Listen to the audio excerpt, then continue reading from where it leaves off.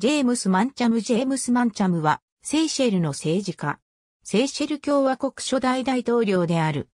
マンチャムは1939年、イギリスの横領植民地だったセイシェルの首都ビクトリアでイギリス人の裕福な実業家の家庭に生まれた。また、家境の地も引いている。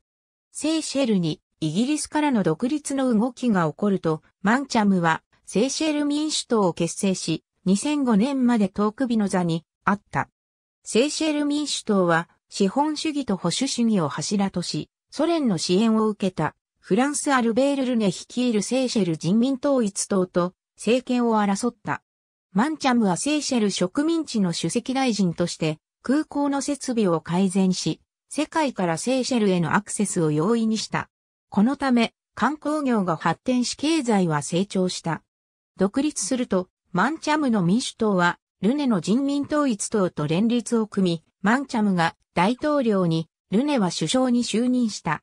しかし、独立1年後の1977年6月、マンチャムはタンザニアで訓練を受けた部隊を率いたルネのクーデターで失脚し、亡命を余儀なくされた。1992年、ルネ政権が複数政党制を認めると、マンチャムは帰国し、1993年7月の大統領選挙では36.72%を得て、ルネに次ぐ得票数となった。1998年3月の大統領選挙にも出馬したが、この時は13.8%の得票で3位となった。2017年1月8日、死去。77歳没。ありがとうございます。